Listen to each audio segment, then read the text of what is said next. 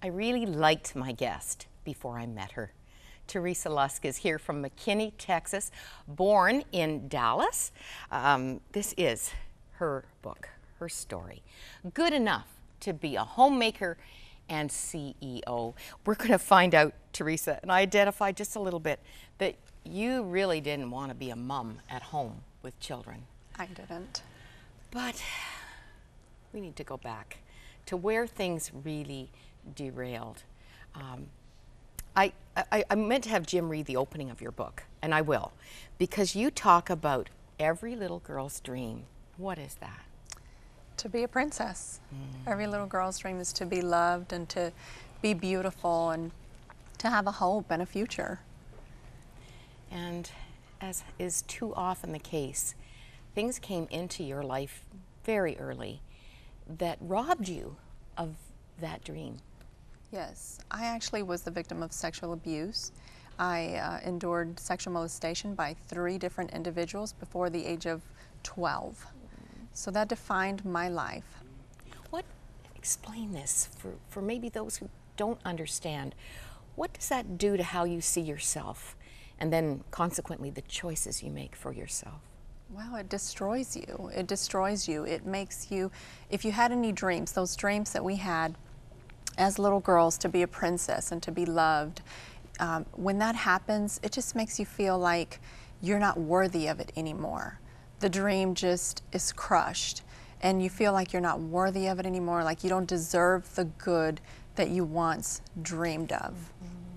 And you start seeking love in an unhealthy way because you're constantly told over and over again that this is the kind of love that you deserve and this is the kind of love that you should be getting. And it just, it really does destroy a little girl and what her future is supposed to be. And it's ugly love. It's it is ugly love. love. Uh, tell us what happened, what direction your, your life took very early. After several incidents, after the three incidents of the molestation, I began to behave like what I believed that I was, and I ended up getting pregnant at 14. I had my first child at 14 years old. I um, married my child's father, but um, but it was a rough journey for both of us. That marriage lasted a year. Pretty much, yeah. yes. You became very desperate. Your mom helped with uh, caregiving for Christian. You named yes. your son Christian. I did. Um, but you took a very self-destructive path and it bottomed out and you, you looked in a good direction. I, I, you pulled out the yellow pages. Yes. What was that about? I found myself in a desperate situation one Sunday afternoon and I was really depressed. I was anxious. I had already been making lots of bad decisions for my own life. I'd been really just doing things that, again, that were self-destructive. And um, and I found myself just looking for some grace. I needed I needed something to just help me to get through that day because um, it was getting hard enough that I began to think, should I take my own life? It was it was so so hard and and so I pulled out a yellow pages and started to look for churches to call and I called church after church after church and and uh, nobody would answer the phone. So I uh, symptom of our modern times. yes, and I uh, when I couldn't find anybody to help me, I continued to seek, and I eventually uh, found a magazine that um, listed people who who are into dark religious practices and the New Age. The New Age. Mm. And the woman uh, wrote an article saying, if you need emotional or, or, physical healing, call on this entity. And so I called on the entity, and that was the beginning of my journey with believing that I had the power within to change my life and my destiny. And, and initially, that bore some good fruit. Let's just be honest. Uh, things seemed to be better for you for a period. Yes, for a period, and that's that's the the key phrase there for a period. Uh, a lot of that, I think, had to do with also just surrounding myself with people. Well, the thing is that once you hit rock bottom, the only way to go is up. And so you start, you, I started to surround myself with people who wanted more for their life. So, and I believe that I had a purpose or grace that was being offered to me, and so I'm following that. And you weren't alone. I think you hit the nail on the head when you, you said, you know, you found a community. Yes. And that's the strength of gangs. There's a, a place to belong. You're not insulated and isolated anymore. Exactly. Exactly. When, when did that journey become dark? When I realized that um, it wasn't really changing me, it wasn't really transforming me, that it was all really um, works. It was more of, you know, do this, meditate this, and, and, you know, believe in that, and and that maybe even objects had power. You know, all of that. When when you just start realizing, gosh, you know, this thing that I that I put my faith in is really not taking away that deep brokenness that was there. At this point, you had a new husband. I did.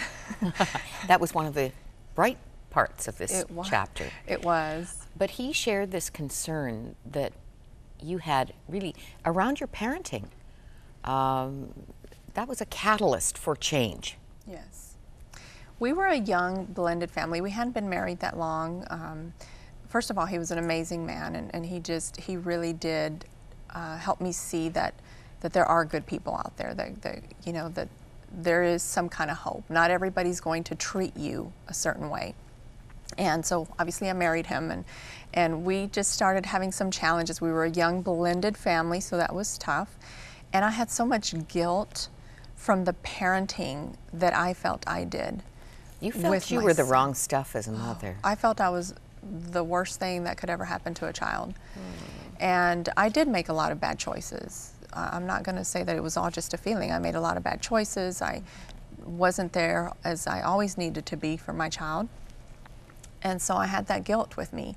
And as I saw my child go through challenges, it just made me really feel guilty and depressed and wonder if I was doing the right thing. I mean, I knew I had hit a point in my life where I needed to change. Something needed to change.